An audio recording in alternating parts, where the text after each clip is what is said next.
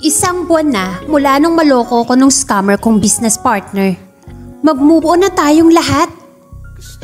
Pakiusap ni Cassie sa pamilya niya habang nasa hapag sila. Walang mag-move on hanggat hindi nahuhuli ang Henry na yon.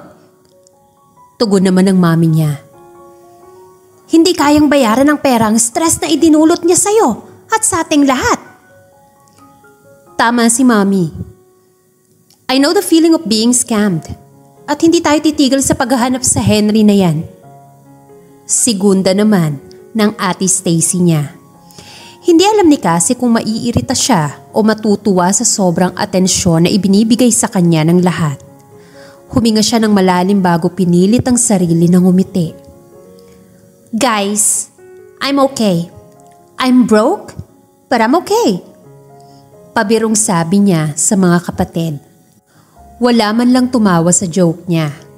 At sa totoo lang din, sinusubukan niya lang maging usual pero sobrang bigat pa rin talaga sa loob niya. Alam niyang may mga nagawa siyang kasalanan. Dahil na rin sa kagagawan niya, kaya gano'n na lang ang pag-aalala ng pamilya niya. Hinayaan na ni Cassie ang mga ito. Tama rin naman sila. Hindi biro ang perang pinag-uusapan. Kaya lang ay Nanliit talaga siya kapag naiisip niyang nagpaloko siya kay Henry.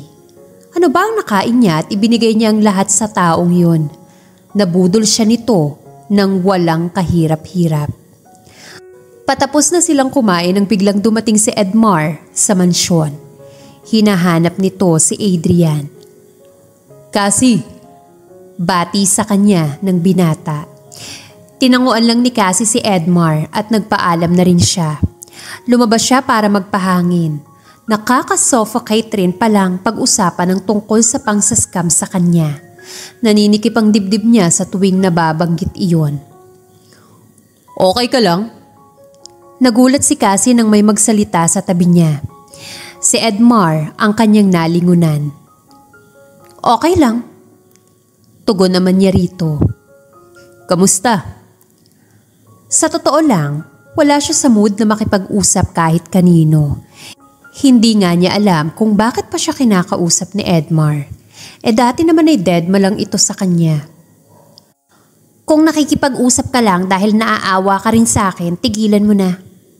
Hindi niya napigilang sabihin na sa lalaki. Hindi ako naaawa lang sa'yo. Gusto lang talaga kitang kamustahin. Matagal na rin tayong hindi nagkikita. Ilang buwan na rin mula noong maging kanang kamay ni Adrian si Edmar. Ang dating tauhan nila sa hasyenda ay formang boss na ngayon.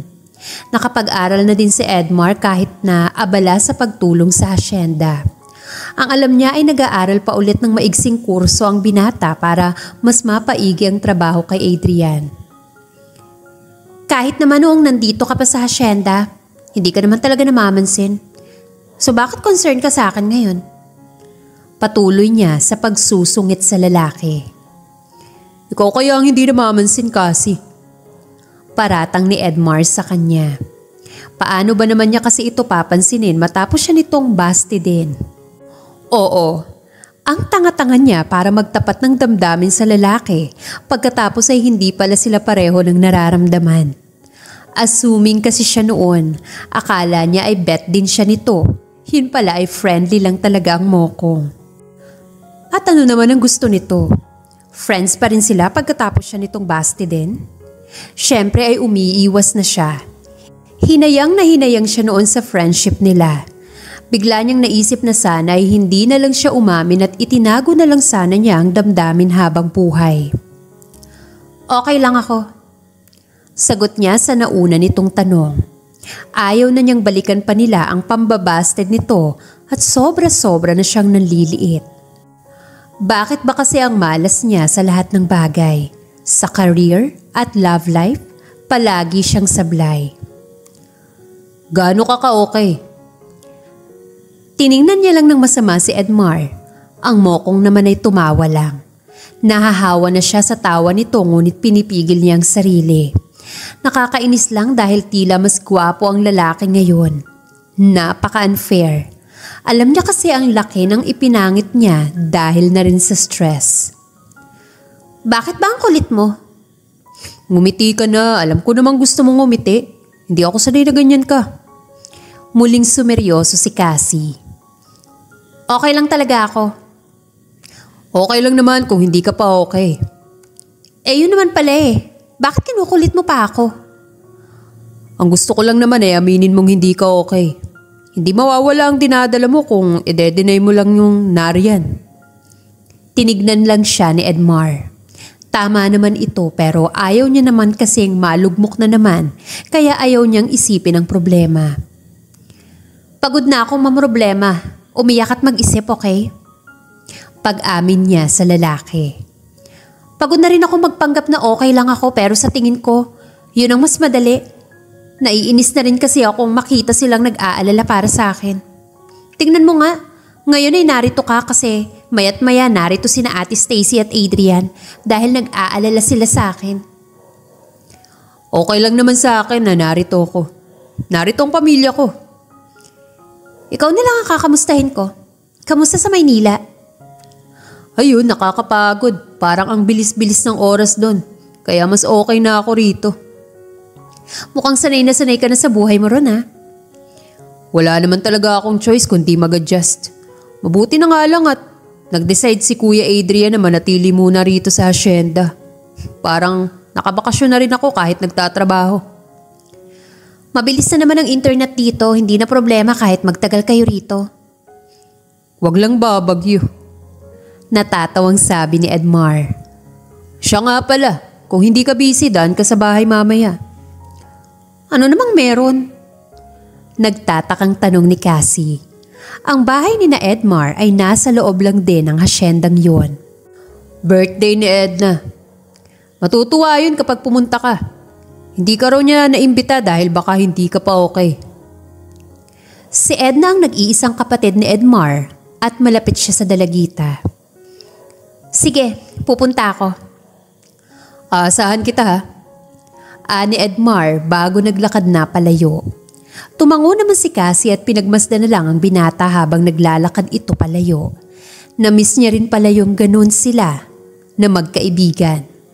Kung hindi siya nagtapat noon, sana'y walang nagbago sa kanila. Baka mas malapit pa sila ngayon sa isa't isa. Ayaw man ni Cassie ay nalulungkot siya. She badly needed a friend at that moment. Pero bakit wala siya yun? Tama ng pagsiself-pity Cassandra. Kota ka na. Aniya sa sarili bago pumasok sa mansyon. Ate Cassie, buti nakapunta ka. Masayang sabi ni Edna nang salubungin siya nito sa bakura ng mga ito. Iniabot ni Cassie sa dalagita ang cake. Hay nako, hindi mo naman ako inimbita. Kunway nagtatampong sermon niya kay Edna. Nahihiya kasi ako ati Cassie. Baka sabihin mo insensitive ako. Sagot naman ito. Ano ka ba? Ganun ba ako? Nakangiti naman niyang tugon. Happy birthday. Teka, ilang taon ka na ba? Hindi ko na ito nung sa kuya mo eh. Hindi tuloy ako nakabili ng number candle. 16 na ako ate.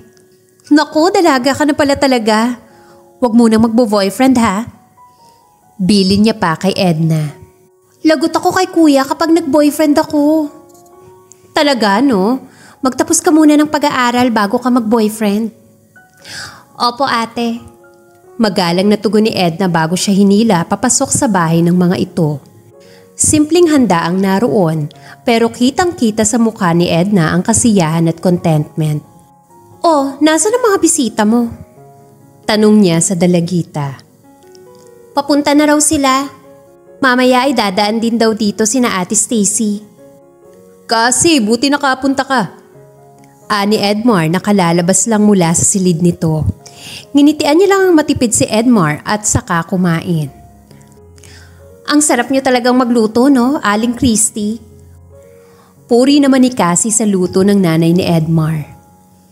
Abay ng bola pa. Kumain ka ng marami Cassie. Ang laki ng ipinayat mo. Ubusin mo yung pansit mo at alam kong paborito mo yan. Magilaw naman na saad ng ginang sa kanya. Nilingon nito si Edna. Edna, dagdagan mo ang pichi-pichi ng ate kasi mo. Agad namang sumunod si Edna. Nakakainit ng puso ang pag-aalaga at pagmamalasakit sa kanya ng pamilya ni Edmar. Mula noon at hanggang ngayon na hindi na siya madalas na naglalagi roon ay hindi pa rin nagbabago ang pakikitungo ng mga ito sa kanya. Bakit kasi ayaw niyo pang magtayo ng sariling pansitan, Aling Christy? Nakangiting tanong niya sa ginang habang kumakain. At paano naman ang hasyenda? Eh marami naman pong tauhan ng hasyenda. Kasi, nakakahiya kung makikitira lang kami rito sa hasyenda. Pagtapos, ay ang kapaeng mo lang ang magtatrabaho rito. Yun na nga po, nagtatrabaho naman si Kapaeng dito kaya hindi na masama kung magnenegosyo kayo ng pansarili ninyo. Tama ho si Kasinay. Singit naman ni Edmar. Naroon pa pala ang lalaki. Akala niya ay nakalabas na ito sa bakuran nila. Nasa bandang pinto lang pala ito. Aba nako, pinagkaisahan niyo pa ako ha? Pag-isipan niyo po. Imbes ay saad ni Edmar. Bibigyan ko kayo ng puhunan. Big time na talaga ang kuya ko. Kantsaw ni Edna sa kapatid. Big time ka riyan. Natatawang sabi naman ni Edmar kay Edna. Maganda-ganda lang talaga ang pasahod ni Kuya Adrian. Habang nakikisali sa kwentuhan at asaran ng magkapatid, ay nakadama ng gaan sa dibdib si Cassie. Ngayon na lang ulit siya nakaramdam ng ganon mula nung maskam si Henry. Kung alam lang niya na yun ang kailangan niya, noon pa siya nagtungo sa bahay ni na Edna at nakipagkulitan. Nang dumating ang mga kaibigan ni Edna at nanatili na ito sa bakuran kung saan nakalatag ang ilang mesa, si Aling Christie ay naging abala rin sa pag-iestima ng mga bisita. Naiwan sila ni Edmar sa loob ng bahay habang namamapak ng lumpiang Shanghai. Namiss ko talaga ang luto ni nanay. Ani Edmar sa kanya. Ako rin, namiss ko. Sigunda naman ni Cassie ang luto ni Aling Christie. Dagdag pa niya at baka isipin ni Edmar na ito ang namimiss niya. Pero teka, mukhang siya lang naman ang nag-iisip ng ganun. Natutuwa akong makitang masaya kang nakikipagkwentuhan kina nanay at Edna. Tugon naman ni Edmar. At tama sila. Ang laki nga ng ipinayat mo. Kumain ka ng kumain para makabawi ka. Yan ka na naman, fa-fall ka na naman. Tapos kapag na-fall na naman ako sa'yo, ang sasabihin mo lang pagkakaibigan lang ang nararamdaman mo para sa akin. Iyon ang naisabihin ni Cassie kay Edmar, ngunit sinarili na lamang niya. Hindi naman kasalanan ni Edmar na mabait ito sa kanya. Siya yata ang may kasalanan dahil marupok siya pagdating dito. Gusto mong pumunta ron sa paborito nating tindahan ng binalot bukas? Tanong pa ni Edmar sa kanya. Ah, bakit? Nagtatakang tanong niya. Namiss ko lang bigla. Naalala ko rin ang lakas mong kumain kapag binalot na Bicol Express ang ino-order natin. Matagal na nga akong hindi nakakapunta ron. Nakalimutan ko na nga lang ang lasa ng Bicol Express doon. Kaya nga, tara bukas. Bakit ba nagiging friendly ka na naman sa akin? Hindi niya napigilang itanong. Ikaw lang naman talaga ang hindi friendly sa akin. Pagbabalik naman ito sa kanya. Paano naman kasi siya magiging friendly rito? Eh more than friends nga ang tingin niya rito. Noon, alam naman niyang nakamove on na siya. Matagal na rin mula nung nabastad siya nito pero wala na siyang nagustuhang iba pagkatapos ma-broken heart kay Edmar. Ang lahat ng damdamin niya ay binuhos niya sa pagsusulat. Ang frustration, pagkawasak at kahit ang pangarap niya ay idinaan na lang niya sa pagsusulat ng nobela. Iyon ang naging coping mechanism niya noon. Ano, tara? Pangungulit ni Edmar. Busy ako. Talaga? Hindi naniniwalang sabi pa nito. Magsusulat ako bukas pagsisinungaling niya. Nawalan siya ng ganang magsulat mula nung mascam siya. Actually, nawala na rin siya ng ganang mabuhay noon kaya nga nagtangka siyang magpakamatay. At hanggang sa puntong iyon ay hindi pa bumabalik ang gana niya sa pagsusulat. Wala siyang maisip, walang inspirasyon. Pakiramdam niya ay drained na drained ang emotion niya. Hungkag ang puso niya. Sa tanghali naman tayo aalis eh. Ano naman? Sa gabi ka na lang magsulat? Hindi ka sure. Kilala kita. Nagsusulat na rin ako sa umaga, tanghali at hapon. Mula nung binasted mo ko. Yun nga ang dahilan kung paano ako nakamove on eh. Baka naman pwedeng mag-skip ka kahit isang araw lang. Sumama ka na kasi. Minsan lang hindi busy si Edmar.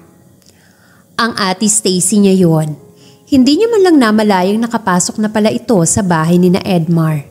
Kasama nito ang asawang si Adrian. Tiningnan niya ang kapatid, nakangiti lang ito at tila kinukumbinsi siya sa tingin. Fine. Good. Mabuti yung lumalabas-labas ka at hindi yung narito ka lang sa asyenda. Eh hanggang kailan kayo rito ni Kuya Adrian? Tanong ni Cassie sa ate Stacy niya. Naroon pa rin sila sa bahay ni na Edmar ngunit nasa bakura na at nakaalis na ang mga bisita ni na Edna. Nagyayayang uminom ng alak si Adrian at sinamahan naman ito ni Edmar at ni Kapaeng. Baka magtagal kami ngayon dahil may pinapagawang bahay si Adrian malapit dito sa hasyenda. Talaga? Gulat na tanong ni Cassie. Palagi ka kasing nakakulong sa kwarto mo at ayaw mong makipagkwentuhan sa akin. Huli ka na tuloy sa mga balita. Gusto nang magkaroon ni Adrian ng satellite office rito sa San Mariano para raw rito na kami magstay. Nahihirapan ang ate Stacy mo sa kabiyabiyahe. Singit ni Adrian sa usapan nila. Mabuti naman at naisip ninyo yun. Madali ko na kayong madadalaw kapag naiinip ako. Ibig sabihin ba nun eh babalik na rin dito sa San Mariano si Edmar? Tanong ni Kapaeng. Kung gusto niya pong dito mag-opisina kapag may satellite office na kami rito, maaari naman po. Tugon ni Adrian. Habay, mabuti kung ganon.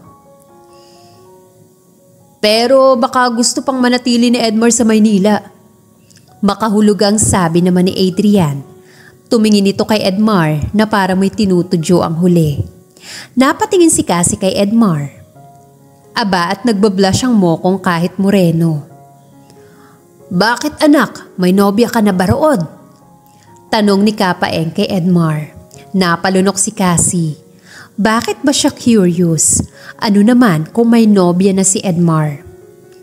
Wala hutay. Nakangiting sagot naman ni Edmar. Nanliligaw pa lang kasi siya, tiyo. Ani Adrian. Hindi alam ni Cassie kung ano ang mararamdaman niya. Naka-move on na naman siya mula kay Edmar pero bakit hindi pa rin maganda ang pakiramdam niya ngayong narinig niyang may nililigawan na ito sa Maynila. Abay ang bilis mo namang nakakita ng matitipuhan sa Maynila anak. Tudyo ni Kapaeng sa kanyang anak. Oo nga Kapaeng, napakalandi niyang anak niyo. Sa isip-isip niya. Hindi ko nga rin po alam tay. Napapahiyang tugon ni Edmar sa ama. Ayos lang naman yon, binata ka naman at nasa hustong edad. Wala namang problema sa akin kung magkakanobya ka na. Nagpaalam si Cassie na kukuha ng pagkain sa loob ng bahay para makaiwas na sa mga naririnig. Ayaw man niya kasi ay apektado siya. Ang tagal-tagal nilang magkaibigan dati ngunit hindi man lang siya natipuhan ni Edmar. Mabuti pa nga ang ate Stacy niya ay naging crush nito. Samantalang siya, friend zone forever. Kapag hindi maganda ang niligawan mo sa Maynila, kutos ka talaga sa akin. Bulong niya habang sumasandok ng pansit. Nakakagutom palang mainis. Kinabukasan ay natuloy sina Edmar at Cassie sa tindahan ng binalot at doon na ng halian. Hiniram pa nila ang owner-type jeep ng tatay ni Edmar para makarating doon. Ayaw gamitin ni Edmar ang sasakyan ni Adrian kahit inalok iyon ng huli sa kanila. Masyado kasing maputik sa daan patungo sa tindahan ng binalot. Hindi pa rin nagbabago ang lugar na to. Ani Adrian habang kumakain sila. Matao pa rin. At masarap pa rin ang pagkain. Simple lang ang lugar. Kubo nga ang style niyon. Walang aircon. Sariwang hangin lang mula sa labas ang nagpapalamig sa lugar.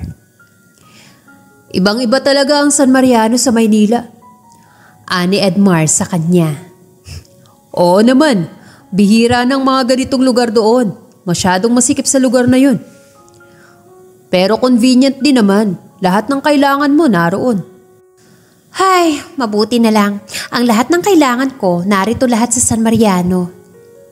Ani naman ni Cassie. Mayaman ka kasi Cassie. Kaya hindi mo alintana ang laki ng pagkakaiba ng San Mariano at Maynila. Teka, bakit parang judge mo ako? Kunot ang noong tanong ni Cassie kay Edmar. Ha? Hindi naman sa ganun. Pero parang ganun na rin. Tanong niya sa kainirapan ng lalaki. Hindi mo kasi alintana ang kamodernohang wala rito sa San Mariano dahil kung ano ang meron sa Maynila, madali mong nakukuha. Pero kasi sa katulad naming ni Edna, isang bagong mundo ang Maynila. At kung papayag si nanay at tatay, gusto ko sanang doon mag-aral ng college si Edna. Mas magagandang mga eskwelahan doon, mas maraming oportunidad doon kaysa rito. Bakit mo pa siya kailangang dalhin doon? Meron namang university dito. Mas maraming choices na kurso doon. Gusto ni Edna na maging arkitekto. Wala namang ganong kurso sa nag-iisang university rito sa San Mariano. Feeling ko, hindi papayag sina Aling Christie at Kapaeng. Masasamahan ko naman si Edna sa Maynila. Mas gusto mo talaga ron? Hindi naman sa ganun. Mas gusto mo ron kasi naroon yung nililigawan mo. Pinigilan ni Cassie na itirik ang mga mata. Bakit naman nadama yun? Natatawang tanong ni Edmar. Totoo naman ah. Ano ba pangalan ng nililigawan mo ron? Ah, si Marinel. Mabait pa siya. Mabait naman. Masarap kausap, maganda. Parang si Ate Stacy? Putol ni Cassie sa sinasabi ni Edmar dahil hindi na siya natutuwa. Palagi mo na lang akong tinutudyo sa ate mo. Asawa na yun ang pinsan ko. Saway sa kanya ni Edmar. Sinasabi ko lang naman na tulad ng ate ang mga tipo mo. Siguro parang si ate Stacy si Marinel kasi natipuhan mo agad. Bakit ba yan ang pinag-uusapan natin? Eh ano ba dapat ang pag-usapan natin? Tanong din ni Cassie sa katuluyang inirapan si Edmar. Bakit bang sungit mo? Hindi ako masungit no? Oo, hindi nga. Sa iba. Sa akin lang naman masungit. Palaging mainit ang ulo mo pagdating sa akin. Hindi ba tayo pwedeng maging magkaibigan ulit? All of a sudden, Edmar? Kunot ang noong tanong ni Cassie sa lalaki. Bigla-bigla ay gusto mo akong maging kaibigan ulit? Kaibigan naman talaga kita. Hindi naman yun nawala sa akin. Ikaw ang umiwas, ikaw ang hindi namamansin. Ang daming gustong sabihin ni Cassie ngunit na natiling tikom ang kanyang bibig. Ano ang sasabihin niya? Kapag nagsalita siya ay parang isinusumbat niya rito ang damdamin niya na hindi nito sinuklian. At kung tutuusin ay hindi naman ito kasalanan na pagkakaibigan lang ang nararamdaman nito para sa kanya. Mapipilit ba yon? Hindi naman hindi ba?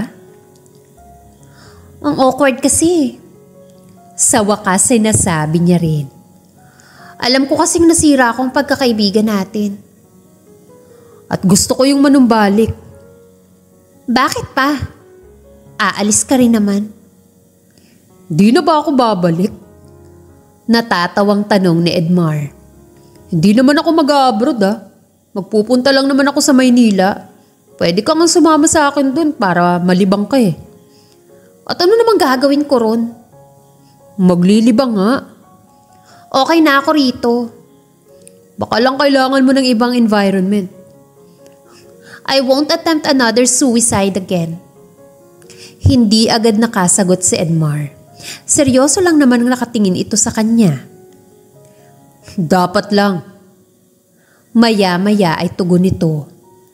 Munti kaya akong atakihin sa puso nang marinig ko yung balitang yun. Natigilan si Cassie. Hindi mo nga ako dinalaw sa ospital eh. Pero umuwi ako rito para silipin ka. Ayoko magpakita sa'yo nung una dahil baka hindi ka rin matuwa. Pero kasi wag na wag mo nang uulitin yun ha. Sinsero namang umiti at tumango si Cassie. Hindi na. Promise yan ha. Ani Edmar na iniumang pa sa harap niya ang hinliliit nito. Pinky swear talaga? Natatawang tanong ni Cassie. Oo naman. Sagot naman ni Edmar na hindi talaga inaalis ang hinliliit sa harap niya. Nakipinky swear na lang si Cassie bago patuluyang mangalay ang lalaki. Promise. Salamat Edmar ha? Ani Stacy kay Edmar. Sinadya pa talaga ni Stacy si Edmar para magpasalamat. Nakikita kasi niya ang pagbabago kay Cassie mula noong naging malapit na naman si Edmar sa kanyang kapatid. Walang anuman yun. Ani Edmar sa hipag. Hindi ba kita sobrang naaabala dahil sa request ko sa'yo? Request kasi talaga niyang libangin ni Edmar ang kapatid niya. Kaibigan ko naman talaga si Cassie kaya walang problema dun. Kahit paano kasi bumabalik na siya sa dati. Pero hindi pa rin siya nagsusulat. Maybe it will take more time. Pasensya ka na talaga. Pati ang trabaho mo kay Adrian na apektuhan na yata. Binawasan ang trabaho ko dahil sa request mo ate. Natatawang sagot ni Edmar. Pero okay nga yun para lang makapagbakasyon na rin ako kahit na may bayad pa rin naman talaga ako. Anyway, nagpunta ako rito para sabihing may book fair sa isang mall sa Pasay sa linggong ito. Baka pwede mong yayain si Cassie para mas malibang siya? Sige ba? Ani Edmar na sinamahan pa ng pagtango.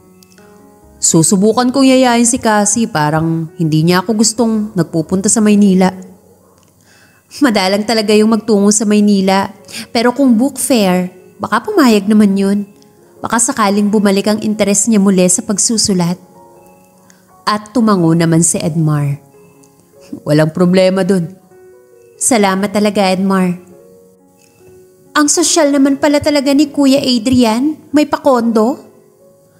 Pabirong sabi ni Cassie kay Edmar pagdating nila sa Manila at sa kondo ni Edmar sila dumiretso. Kay Kuya Adrian talaga to, pinagamit lang sa akin habang nagtatrabaho ako sa kanya. Pasensya na medyo makalat. Iniikot ni Cassie ang mga mata sa paligid. Hindi naman makalat. Madami lang libro sa mesa at sofa. Akala ko tapos ka nang kumuha ng short course. Oo pero nagbabasa-basa pa rin ako. Tumango si Cassie at tinulungan na si Edmar na magligpit ng mga librong nakakalat. Buti hindi ka naiinip dito, no? Parang kulang ang oras ko kapag narito ako eh. Kahit pagluluto ng sarili kong pagkain, hindi ko magawa minsan. Maninibago siguro ako kapag nakita kitang nagtatrabaho rito. Well, makikita mo talaga akong magtatrabaho rito dahil 3 days kang magsistay rito sa Maynila. Sa bagay, Sure ka ba ngayon mong mag-hotel? Alam mo na, baka may masabi yung ibang tao. Paki ko ba sa kanila? Hindi ko naman sila kilala. Ayoko rin mag-isa, boring dun. Ikaw bahala. Dalawa naman ang kwarto rito eh. Dahil pagod pa sa biyaya, hindi rin nakapagluto si Edmar ng tanghalian nila. Kaya't nagpasya silang sa mall na kumain pagkatapos ay saka umaten sa book fair. Hindi alam ni Cassie ang mararamdaman habang nanunood sa mga writers na kasalukuyang nasa isang book signing event. Pangarap niya yon pero hindi naman siya sikat. Her stories have always been so-so to many. May mga readers naman siya pero wala pa siyang istoryang nag-hit. At ang ilang readers na yon ay naghihintay na sa kanya. Nagsusulat siya sa ilang online reading platforms. Meron din siyang mga librong nakapost online.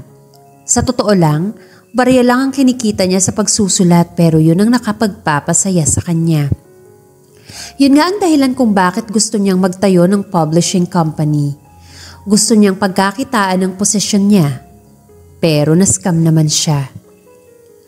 Sa susunod ikaw na ang magbubook signing. Bulong ni Edmar sa kanya. Lumabi naman siya. Mukhang malabo yun. Oh, bakit naman? Hindi naman ako sikat na writer. One day, you will be.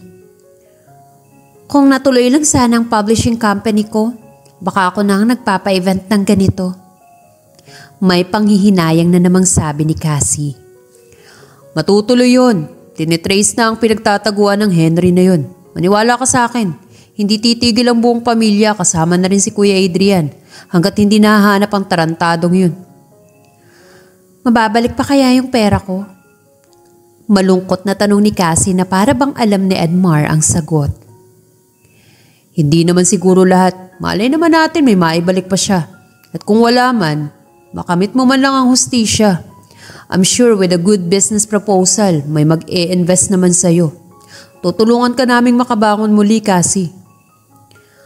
I don't think someone would invest and trust me after what happened. Siguradong makakapag-isip tayo ng magandang proposal. Maisa sa katuparan mong publishing company na yan, magtiwala ka lang. Kahit paano ay nabuhayan ng loob si Cassie. Nawala na kasi talaga siya ng gana. Ayaw na niyang magplano o mag-isip ng kinabukasan. Drained siya matapos ang scamming incident. Para kasing wala na akong gana. Normal naman yan eh. Pambavalidate ni Edmar sa damdamin niya. Hindi biro ang nangyari sa'yo at ayaw ka naming puwersahing mag-move on.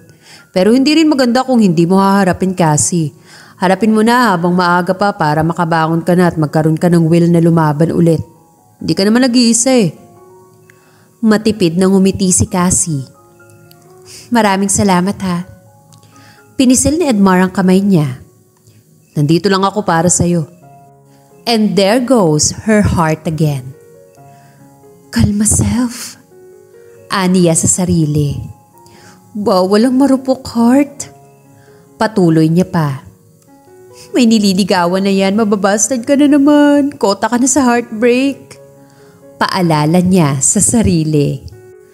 Kinagabihan ay pinili ni Cassie na matulog sa sofa kahit ayaw siyang payagan ni Edmar. Hindi niya alam pero mas gusto niya roon. Bumili siya ng ilang libro sa book fair at nais niyang magbasa. Matagal na rin noong huling beses siyang nakapagbasa. Pwede ka namang magbasa sa kwarto mo. Mas feel ko rito, Magkakalat pa ako sa kwarto mo eh. Kumakain kasi siya ng chips. May soft drinks din nasa lata na nakapatong sa center table. Habang siya naman ay nakabalot ng comforter dahil malamig. Salamat sa centralized aircon na nasa sala. Ang tigas talaga ng ulo mo. Ani Edmar na imbes na pumasok sa sariling silid ay naupo sa pang-isahang sopa. Oh, bakit narito ka pa? Ba't hindi ka pa matulog? Nainggit ako sa iyo eh, magbabasa rin ako. Natawa si Cassie at hinayaan na lamang ito. Maya-maya ay tumayo ang lalaki. Nagutom ako ah. Gusto mong kumain? May pagkain ka ba dyan? Burger lang kasi ang hapunan natin kanina sa mall eh. Kaya nga eh. Kaya lang puro instant naman ang pagkain ko rito. Gusto mo bang umorder na lang ako? Pero late na. Meron pa tayong ma-orderan yan. Pizza chicken, gusto mo? Biglang kumalamang sikmura ni Cassie. Sige! Aniya na sinamahan pa ng mabilis na pagtango. Natawa naman si Edmar saka nagtitipa sa cellphone. Manila boy na talaga ang kaibigan niya. Nakapag-adjust na sa buhay sa Maynila. Pa-order-order na lang ng pagkain online. Pagdating ng pagkain ay para na silang nasa mukbang show Maghahating gabi na pero ang gana pa nilang kumain. Kapag nagstay siguro ako ng mas matagal dito, dambuhala na ako pagdating ng San Mariano. Dito ka na muna kung gusto mo. Wala ka naman yata gagawin dun. Hindi no, nakakahiya sa'yo. Intindihin mo pa ako rito. At bakit naman? Baby ka ba? Pwede naman kung gusto mo akong gawing baby mo. Natatawa si Cassie sa itinatakbo ng kanyang isip. At bakit ka natatawa? Wala, wala. May naisip lang ako. Kinabukasan ay bumalik na si Cassie sa ikalawang araw ng book fair, ngunit inihatid lamang siya roon ni Edmar. May meeting daw ito sa opisina. Siyempre, wala naman siyang magagawa kaya kahit boring ay mag-isa'y pinilit na lamang niyang libangin ng sarili. Miss, baka gusto mong mag-sign up sa writing workshop namin. Alok ng isang staff sa book fair. Ah, kailan po ba? Next week na po ang start at kaunti na lang ang slot na natitira. At nag-sales talk na nga ito sa kanya. Baka raw kasi siya na ang susunod na may autograph signing sa event na yon dahil lahat daw ng writers na nasa book signing event ay produkto ng workshop na yon. Isang buwan lang naman ang workshop namin, miss. Hindi rin everyday ang schedule. Um, MWF lang. Kaya hindi ka masyadong mahihirapan. Sa huli napasign up na lang si Cassie. Gusto rin kasi niyang malibang. Isa pa, wala talaga siyang proper training sa novel writing. Baka kailangan talaga niya ang workshop na yon. Makalipas ang ilang oras ay tinawagan siya ni Edmar para sabihin dito ang balita. Talaga? Mabuti naman kung ganun. Mabuti na yung meron ka mapagdilibangan. Gusto ko nga sana magstay kay Jean kaya lang nasa South Korea siya ngayon. Sa daddy niya. Next month pa raw siya uuwi eh. Ano ka ba? Pwede ka magstay sa kondo ko. Nakakahiya kaya sa'yo. Ikaw? Mahihiya sa akin? Come on, Cassie. Teka, magpapasundo ka na ba riyan? Huwag mo na akong sunduin, pupunta ako kay Lolo. Susunduin na lang kita. Bakit? Tapos na ba ang meeting mo? Hindi pa eh. Oh, hindi pa pala eh. Doon na lang kita hihintayin sa kumpanya ni Lolo. Sige, okay lang talaga sa'yo na mag-taxi? Oo naman no. Pagdating sa opisina ng lolo niya ay naghintay rin siya ng halos 30 minutos dahil nasa meeting ang matanda. Ang busy niyo namang lahat? Reklamo ni Cassie sa abuelo. Sorry iha, hindi ko naman kasi alam na darating ka. Kung alam ko lang, kinancel ko na sana ang mga meeting ko. I'm glad to see you here anyway. Aalis ka nga raw eh, sabi ng sekretary mo. Huwag ka mag-alala, cancel ko na muna. I'll meet those old men at the business summit next week anyway. Pabirong sabi pa ng lolo niya. Saan ang summit? Malaysia. I'll stay there for two weeks. Maga-out of the country ka na rin? Nakalabing tanong niya sa abuelo. Oh, bakit? May problema ba apo?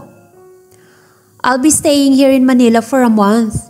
Nag-sign up ako ng isang writing workshop pero wala naman kayo. Si Jean nasa South Korea rin. Si Ate Stacy naman busy sa San Mariano. Si Ate Yana mahirap ding hagilapin. I thought you're staying with Edmar. At okay lang po sa'yo? I trust that young man. Alam ko namang kaibigan lang ang tingin nun sa'yo.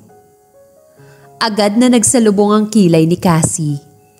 Kailangan mo talagang ipagdiinan yan, Lolo. At tinawanan lang siya ng abuelo. What do you want for lunch? Imbes ay tanong nito. Iniiba mo pa talaga ang usapan na. I want seafood.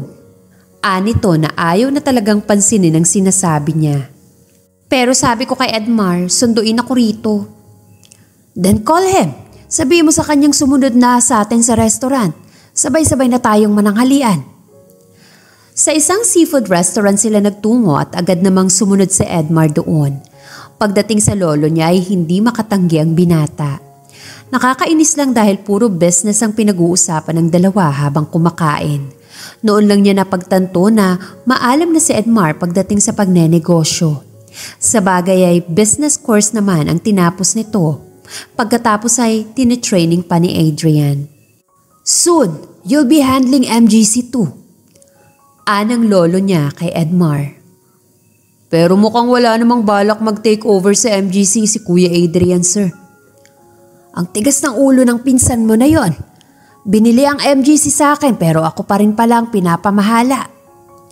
Sigurado naman po akong walang intensyon si Kuya na kunin sa inyong MGC noon pa lang. Yeah, he just only wanted my granddaughter. But still, kanya na ang MGC at gusto ko na rin namang magretiro. Don't worry sir, ire-remind ko si kuya about this. Busy kasi siya ngayon sa San Mariano. Yes, I heard about the house and the satellite office. Bagot na bagot si Cassie sa usapang business ng dalawa. Mabuti na lang at masarap ang pagkain nila. Pagkatapos ng lunch na yon ay nagpaalam na rin si Cassie sa abuelo. I'll see you after the summit, lo. Tumango ang lolo niya at binalingan si Edmar. O paano? Ikaw na muna ang bahala sa apo ko, Edmar. Huwag po kayong mag-alala sir, ako na po ang bahala kay Cassie. Maraming salamat. Naghanda si Cassie ng hapunan para sa kanila ni Edmar. Maganda ang mood niya dahil naging maganda ang unang araw ng kanyang workshop. Marami siyang nakilala at unang araw pa lang pero marami na siyang natutunan. Bigla ay na-excite ulit siyang magsulat. Ang totoo nga ay nagkaroon na siya ng proyekto dahil sa brainstorming na naganap sa workshop nila. Kailangan niyang tapusin ang proyektong iyon dahil kapag pumasa ay ipapublish iyon ng publisher. Ang tagal naman ni Edmar.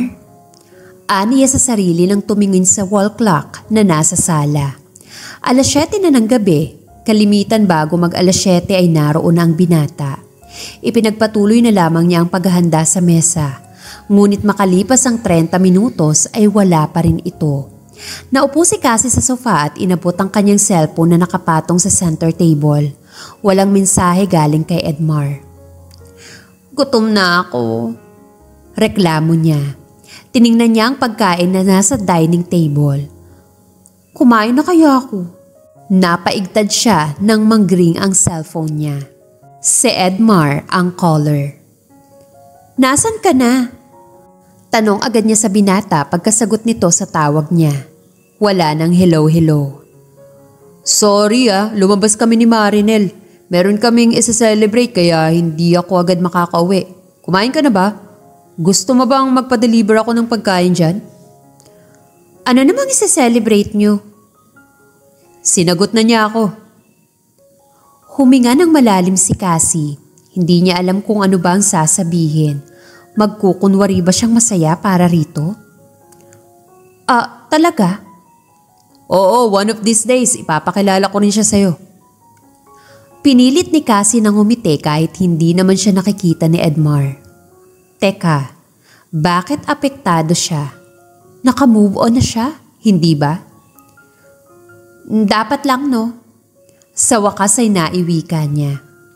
O ano, magpapadeliver ba ako ng pagkain dyan? Hindi na, kumain na ako. Okay, see you later.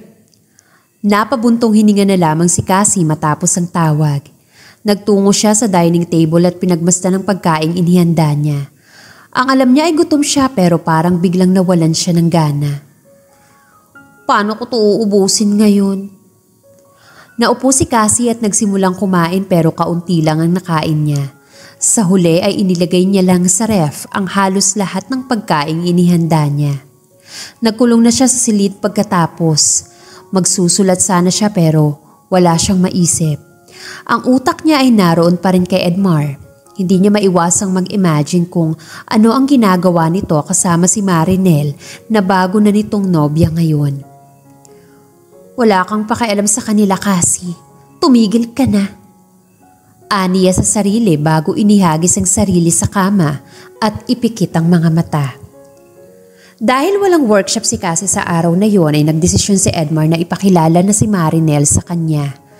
Ayaw nga sana ni Cassie ngunit paano ba siya tatanggi? Isa pa, wala naman sigurong masama kung makikilala siya ni Marinel. Sa isang coffee shop na malapit sa kondo sila nagtagpo Okay naman si Marinel. Hindi sa bitter siya pero napaka-ordinaryo ng itsura nito. Ganun palang mga tipo ni Edmar, yung hindi magsa-stand out sa crowd. Sobrang simple. Enough, Cassie. Saway niya sa sarili. Nice to meet you, Marinel. Nakangiting bati ni Cassie sa babae. Hi, sa wakas nakilala rin kita. Teka, kailangan ba kitang tawaging ma'am? Kapatid ka raw kasi ni Ma'am Stacy. You don't have to. Girlfriend ka ng kaibigan ko so hindi na natin kailangang magpaka-formal. Naupo si Marinel sa harap niya at si Edmar naman ay nagtungo sa counter para umorder. Siguro sobrang close kayo ni Edmar no?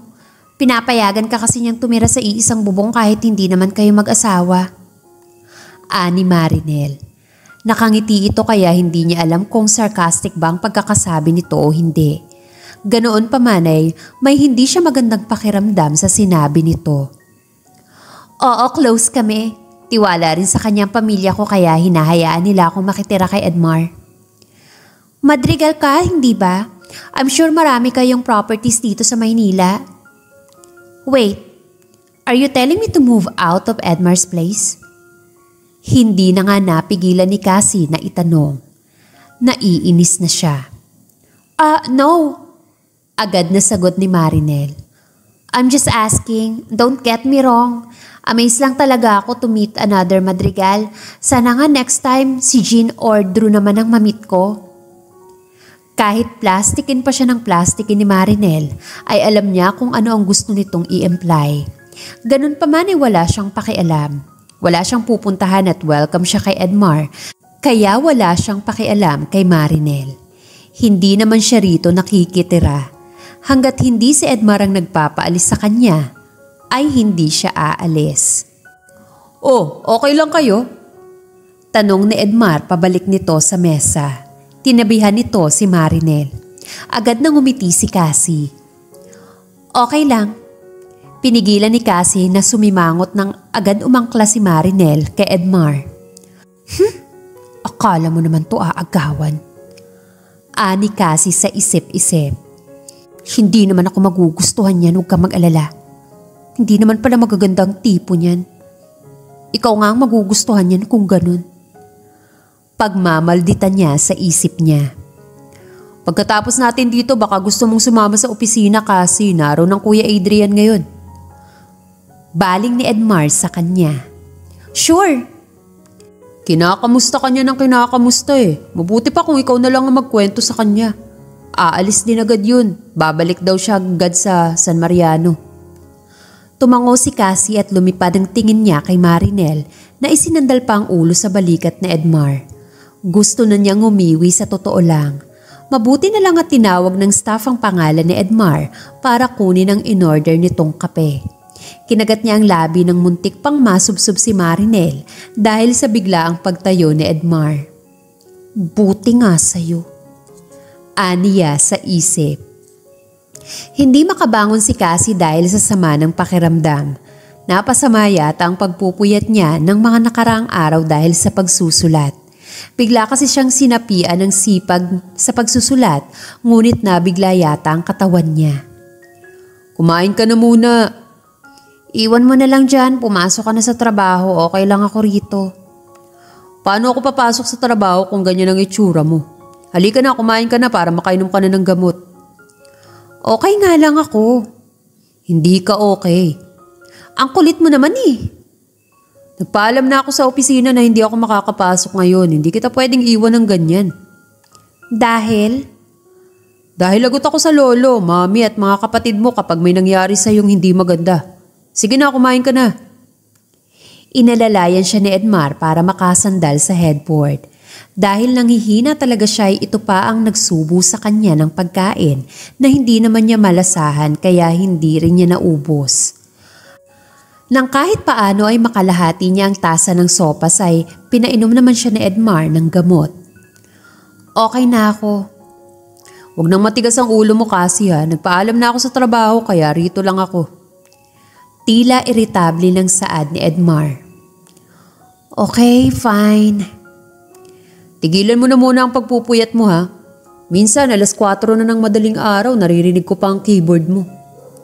Hindi naman nakasagot si Cassie. Mag-promise ka. Oo na.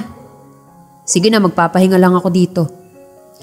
Di naman ni Edmar ang noon niya at ewan ba kung bakit bigla siyang nailang. Hala, ang taas pa rin pala talaga ng lagnat mo. Mamaya rin o okay na ako. Uminom na ako ng gamot, diba? Hindi na siya natutuwa sa nararamdaman niya para rito. Sa ikalawang pagkakataon ay mukhang mafe-friend zone na naman siya. Wala bang ibang lalaki sa mundo kasi? Tanong niya sa sarili niya nang makalabas si Edmar mula sa kanyang silid. Wala ka talagang kadala-dala, nakakaloka ka na. Pagpapatuloy niya sa pagkastigo sa sarili. Ano ba kasi ang wala sa akin na meron ng Marinel na yun? Hindi naman kagandahan ng epal pa. Ipinikit niya ng mariin ang mga mata. Bakit ba siya nag-iisip ng ganon? Alam naman niyang hindi basihan ang pisikal na anyo ng isang tao upang maging kaibig-ibig ito. Alam niya rin na ang insecure na pagkatao niya ang nag-iisip ng kung ano-ano tungkol kay Marinel.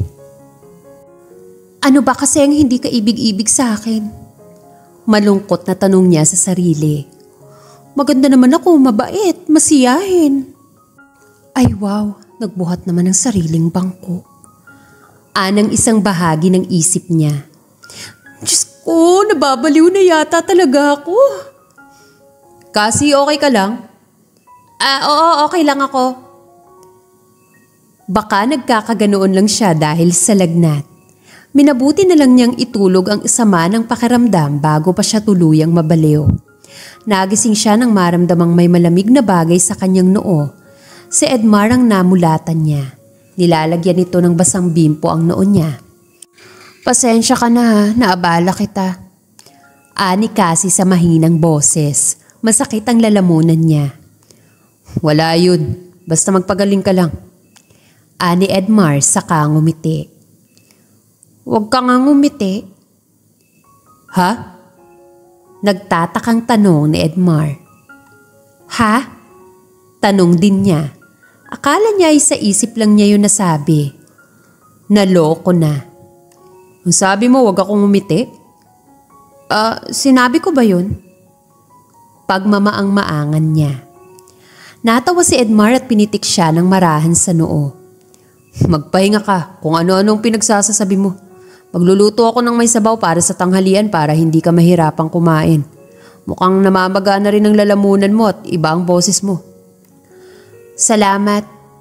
Ani kasi na halos wala ng boses na lumalabas sa kanya. Baby ba yan? Lagnat lang eh. Kailangan mo pang bantayan. Reklamo ni Marinel. Kausap ni Edmar ang nobya sa phone at nagtotoyo ito dahil hindi natuloy ang lakad nila. May usapan silang manunood ng sine sa araw na yon ngunit napurnada dahil sa nagkasakit si Cassie. Kung sa'yo to nangyari, ganun din ang gagawin ko, Nel. Hindi ko pwedeng iwan si Cassie ngayon. Paano ako mag enjoy sa date natin kung alam kong may sakit si Cassie at mag-isa siya rito sa bahay? Bakit kasi ikaw? Hindi pa rin talaga nawawala ang toyo na tanong ni Marinel. Eh kasi sa akin siya nakatira. Responsibilidad ko siya. Yun na nga eh. May kamag-anak naman siya rito sa Maynila, kaya bakit siya sa'yo sumisiksik? O kung wala siyang kamag-anak dito, afford naman niyang mag-hotel, di ba? Kaya nga niyang bumili ng bahay rito sa Maynila kahit ngayon eh. Pero nakikita siya sa'yo. Ano yun?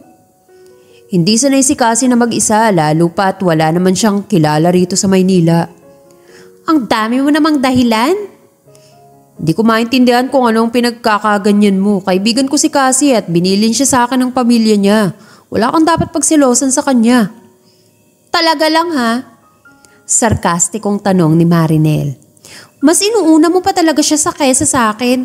Puro na lang Cassie. Baka naiinip na si Cassie sa bahay. Baka hindi pa kumakain si Cassie. Hindi pwedeng mag-isa si Cassie ng matagal. Kailangan kong sunduin o hihatid si Cassie. Tapos ang gusto mo, wag ako magselos kay Cassie? Hindi nakasagot si Edmar. Napabuntong hininga na lamang siya. Nel, kaibigan ko lang si Cassie. At habang nasa poder ko siya, responsibilidad ko siya. Wala kang dapat ipagselos, okay? Sino ba ang girlfriend ko, hindi ba ikaw? Iparamdam mo rin kasi sa akin na wala akong dapat ipag-alala. Sorry na. Babawi ako sa'yo next time. Tahimik na kinagat ni Cassie ang mga labi niya. Bakit ba kasi siya nakikinig sa usapan ng iba? Bigla niya nang tuloy na realize kung ano lang ang lugar niya sa buhay ni Edmar. Kung ano man ang ginagawa nito para sa kanya ay dahil lang sa feeling nito ay obligasyon siya nito. Dito nga naman siya ibinili ng lolo at kapatid niya. Teka, ano nga ba ang akala niya? Bumalik si Cassie sa kanyang silid nang wala ng ingay. Wala ka kasing dala, Sermon niya sa sarili nang makabalik na sa higaan. Nang maramdaman niyang binuksan ni Edmar ang pinto ng kanyang silid ay nagpanggap siyang tulog. Kasi, hindi naman siya sumagot. Ayaw niyang makaharap muna ito. Sige na nga, mamaya na lang tayo kumain. Nang maramdaman niyang isinara na ni Edmar ang pintuan ay saka siya dumilat. Nang guminhawa ng pakiramdam ni Cassie ay sinubukan niyang maging hindi dependent kay Edmar. Nagtutungo siya at umaalis mula sa workshop na mag-isa. Siya na rin ang nag-aasikaso sa sarili niya ng pagkain. In short, umiiwas na siya sa lalaki kahit paminsan ay hindi naman maiiwasan na mag-usap sila. Ganoon pa man ay sinisigurado niyang saglit lang silang mag-uusap.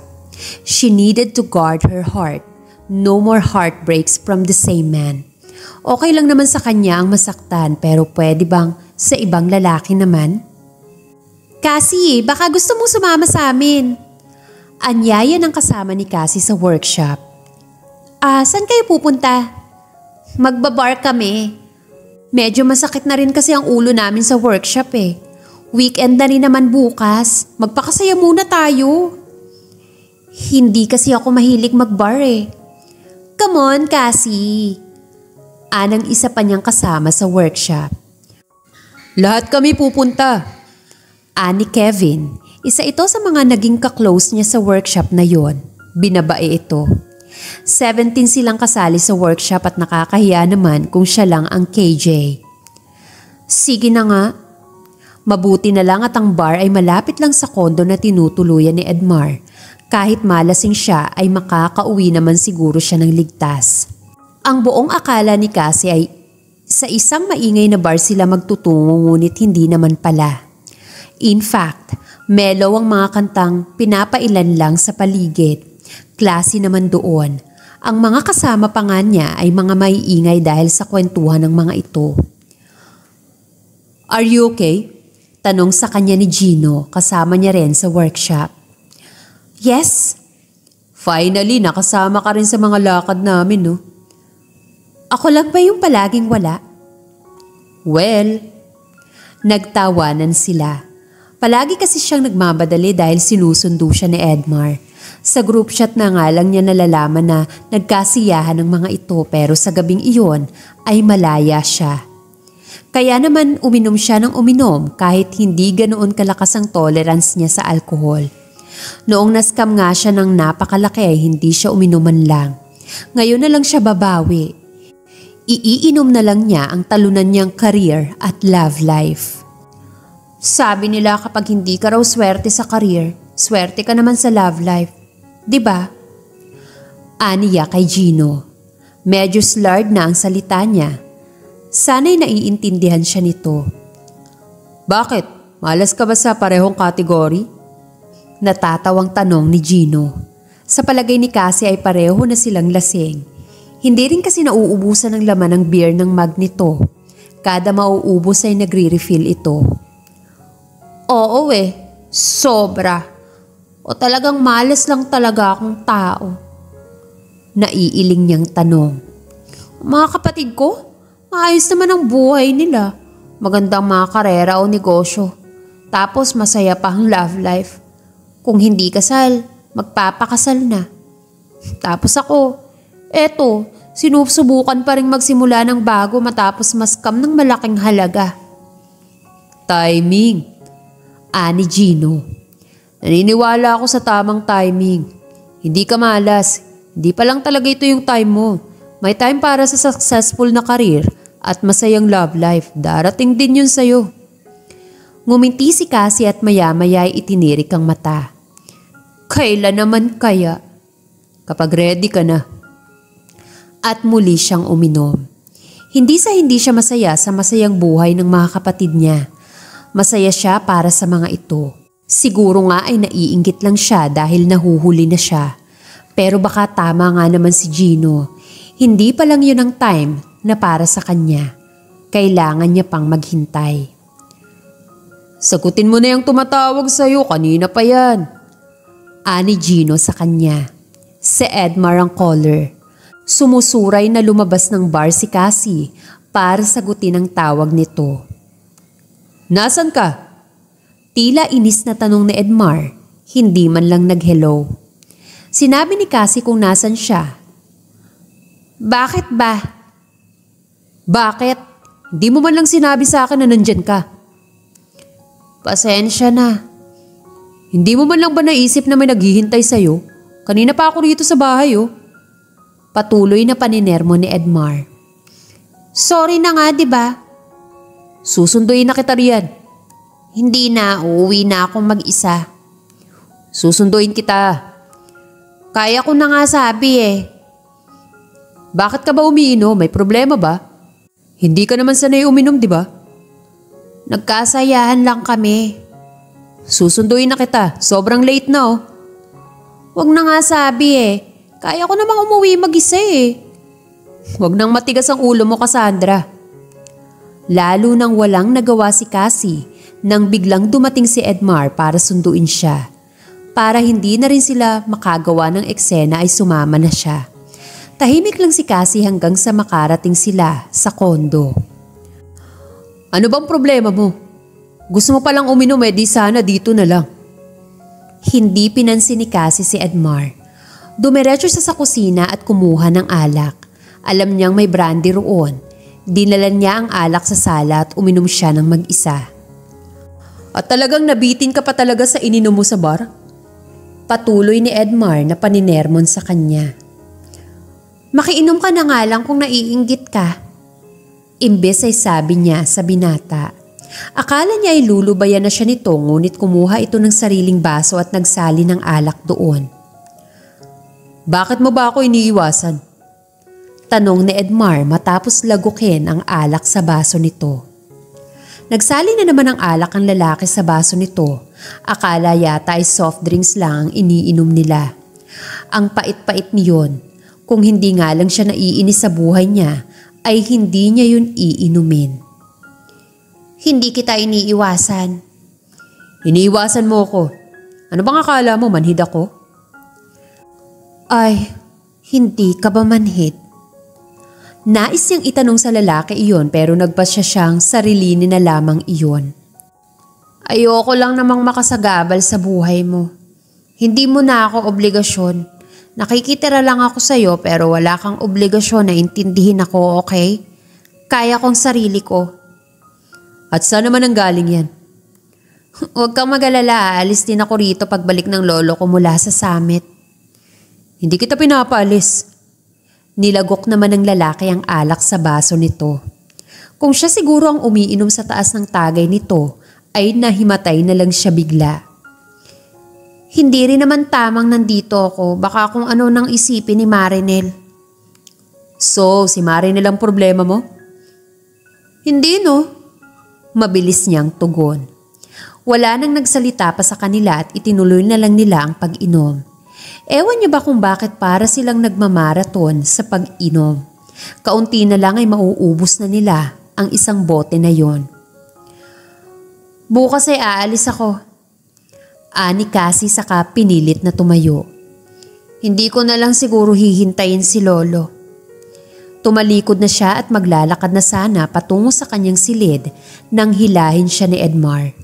Kunot na kunot ang noon nito. Ano ba kasi ang problema mo? Masyadong malapit ang mukha nito sa mukha niya. Nakalimutan tuloy niya kung ano ang sasabihin. Basta natulala na lang siya sa labi nito at bigla nang naisip kung ano kaya ang lasa ng labing iyon. Walang pagdadalawang isip na tinawid niya ang natitira pang espasyo at sinako pang mga labi nito. Ang buong akala ni Cassie ay mapapahiya siya. Ngunit gumalaw ang labi ni Edmar at nang gabing iyon ay ibinigay niya rito ang lahat-lahat sa kanya. Cassie, okay ka lang ba? Parang namumutla ka. Tanong ni Stacy kay Cassie. Dalawang linggo na rin mula nung bumalik siya sa San Mariano. Dalawang linggo siyang nanatili sa bahay ng lolo niya dahil matapos nang nangyari sa kanila ni Edmar ay hindi na siya nagpakita pa rito. Sobrang nahihiya siya.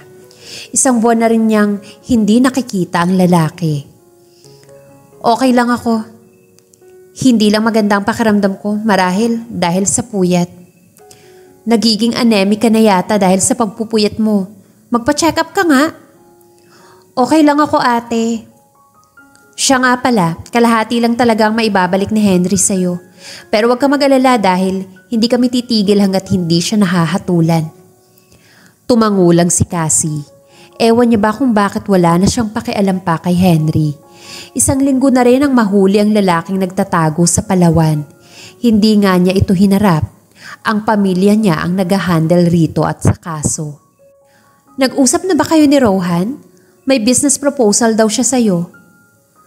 Nag-usap na kami at nagustuhan kong business proposal niya. Mag-uusap kami ulit kapag hindi na sila busy ni Jean sa preparation ng kasal nila. Good! Isa lang ang goal niya ng mga sandaling yon. Ayusin ang buhay niya. She will start all over again. But this time, makikipagtrabaho lang siya sa mga taong pinagkakatiwalaan niya. Maganda ang proyektong sinabi ni Rohan. Gagawa sila ng application kung saan maaaring kumita ang mga istorya niya. Online reading ang writing app yon. Kikita na siya, makakatulong pa siya sa ibang manunulat. Bigla ay nagkaroon siya muli ng purpose. Ang problema niya ngayon ay ang katawan niya. Parang palaging masama ang pakiramdam niya. Hindi nga siya makakain ng maayos dahil para siyang laging sinisikmura. Pupunta ako sa bayan ngayon, sumama ka sa akin. Bakit? Magpa-check up ka. Pero ate, wala nang pero-pero, tara na. You're three weeks pregnant. Paulit-ulit iyon sa isip ni Cassie. Kasama niya ang ate niya nang i-anunsyo ng doktor na buntis siya. Kaya naman ayaw siyang tantanan ng kanyang kapatid. So anong plano mo ngayon? Tanong ng kapatid niya. Napabuntong hininga si Cassie. Wala. Wala?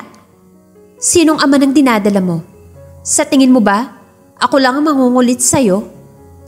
Ate, hayaan mo na lang muna ako. Sige, si Edmar na lang ang tatanungin ko. Siguro naman ay kilala niya kung sino-sino ang mga nakakasama mo sa Maynila. Sigurado akong naroon ang ama ng dinadala mo. Ate, wag. Pigil niya sa kapatid. Oh, bakit ayaw mo? Hindi kailangan managot ng ama ng anak ko. Kaya ko namang buhayin ng batang to nang ako lang mag-isa. Ewan ko sa'yo, Cassandra. Nagkulong si Cassie sa kwarto pagbalik sa mansyon. Hindi niya alam kung anong gagawin niya. Napakabilis naman niyang mapuntis. Hindi na naman naulit ang mainit na gabing iyon kasama si Edmar, kaya paanong buntis siya ngayon? Tatakas ba ako? Tanong niya sa kanyang sarili. May pera na naman siya ulit. Pwede na siyang umalis. Ngunit gagamitin niya sa bagong business venture ang perang yun. Isa pa, Sino naman ang tutulong sa kanya sa pagbubuntis niyang iyon kung siya lang mag-isa? Kinabukasan ay lalo nang nagkandaloko-loko dahil alam na ng buong pamilya niya. Hindi ka namin hinuhusgahan. Matanda ka na at alam kong kaya mong maging ina sa anak mo. Pero maling-mali na ipagkait mo sa batang yan, ang ama niya. Anang mami niya sa kanya. Hindi nga ako sure kung gusto ba ng ama niya ang dinadala ko. Gusto niya o hindi, may obligasyon siya sa'yo. Obligasyon. Inis na inis siya sa salitang yon. Kaya kong buhayin ang anak ko ng ako lang. Nasaan ba si Edmar? Singit ng ate Stacy niya. Ang kausap nito ay ang asawa niya. Bakit hindi niyo pinapapunta rito si Edmar? Siya lang ang may alam ng sagot kung sino ang ama ng dinadala mo.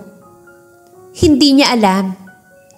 Wala nang nagawa si Cassie nang makita niyang papasok si Edmar sa mansyon. Mukhang wala pa itong alam sa nangyayari. Noon lang sila ulit nagkita makalipas ang isang buwan. Ah, uh, bakit niyo po ako pinapatawag? Tanong ni Edmar sa kanilang lahat. Apparently, my daughter is pregnant. Walang pakundangang sagot ng mami niya. At ayaw naman niyang sabihin sa amin kung sinong ama ng anak niya. Ipinatawag ka namin dahil baka kilala mo kung sinong mga nakakadate ni Cassandra sa Maynila nung naroon pa siya. Nanlaki ang mga matang lumipad ang tingin ni Edmar sa kanya. Buntis ka? Tila hindi makapaniwalang tanong nito sa kanya. Hindi naman sumagot si Cassie. Ang gusto niya ay umalis sa lugar na yon. Iritang-irita siya. Edmar, ani Adrian sa pinsan. Alam mo ba kung sino? Bakit pa ninyo dinadamay si Edmar dito? Hindi nga po niya alam kung sino ang ama ng anak ko. Hindi ko naman siya babysitter o bodyguard na alam ang lahat ng galaw ko o nakabuntot kung saan man ako pumupunta. Alam ko. Imbes ay sagot ni Edmar. Gulat na gulat na napatingin si Cassie sa lalaki. Sino? Halos ay sabay-sabay na tanong ng lahat. Ako. Ako ang ama na dinadala ni Cassie. Anong ginagawa mo? Inis na tanong ni Cassie kay Edmar matapos niya itong hilahin palabas ng mansyon. Taking my responsibility. Bali walang tugon ni Edmar sa kanya. Wala kang responsibilidad sa akin. Hindi sa iyo ang batang to. Kaya pwede ba, tigil-tigilan mo ang pagpapakabayani riyan? Pagsisinungaling niya. Tama, gusto siya ni Edmar. Mali, hindi niya pala ito gusto. Mahal niya ito. Hindi naman niya isusuko ang bataan kahit lasing siya kung hindi niya ito mahal. Pero ayaw niyang magpakasal dahil buntis siya. Hindi iyon ang gusto niya. Ang gusto niya ay kailanman ay hindi yata niya makukuha ang pagmamahal nito. Huwag ka nang magsinungaling kasi. Alam kong ako ang ama ng dinadala mo. Hindi kita kailangan. Ikaw, pwedeng hindi mo ako kailangan pero ang anak ko kailangan ako. Pwede kang maging ama ng anak ko nang hindi ako pinapakasalan. At sa tingin mo papayag ang pamilya mo? At bakit hindi? Hindi naman natin mahal ang isa't isa. Paano na lang si Marinel? Nasa ganun silang pag-uusap nang lumabas mula sa mansyon ng lolo niya at tinawag si Edmar. Huwag ka na ngang umarte. Alam ko namang gusto mo rin si Edmar. Anang ate Stacy niya, pinuntahan pa siya nito sa labas para lang sabihin iyon. Pero may girlfriend yung tao. Alam mo pala eh, bakit kayo nag-anuhan? Tiningnan siya ng masama ng ate niya. Lasing kami noon. Pero mahal mo.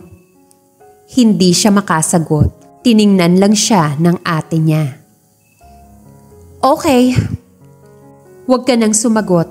Alam ko na yung ganyang tingin mo. Ang isipin mo ay yung magiging anak nyo. Mas mabuti pa rin kung lalaki siyang may ama at buo ang pamilya. Ang pagmamahal, natututunan yan. Maging mabuti ka kay Edmar. Mamahalin ka niya panigurado. Hindi nga niya yun nagawa sa akin dati, ba? Diba? Ayoko nang ipilit ang sarili ko. Iba na ngayong magkakaanak na kayo, kaya please Cassie, kung gusto ni Edmar na pakasalan ka, hayaan mo siya. Gamitin mo na lang ang chance na yun para mapakita sa kanyang worth it ka sa kalayaang tatalikuran niya. It's not about you anymore. Isa pa, ano bang masama kung magiging asawa mo siya? Kaibigan lang ang tingin niya sa akin. Yun ang pinakamagandang foundation, Cassie. Alam kong hindi ka pababayaan ni Edmar. Mas magiging payapa ang kalooban naming lahat kung siya ang magiging asawa mo. Grabe naman kung ipamigay mo ko ate. Hindi yun ganun, loka-loka. Alam ko lang na aalagaan ka niya. Nagawa niya yun dati kahit magkaibigan lang kayo at hindi pa kayo magkakaanak. Paano pa kaya ngayon, di ba? Siyempre mas aalagaan ka niya dahil hindi ka na lang niya kaibigan.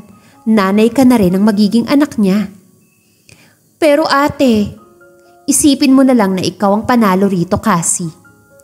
Pero may masasaktan kaming ibang tao.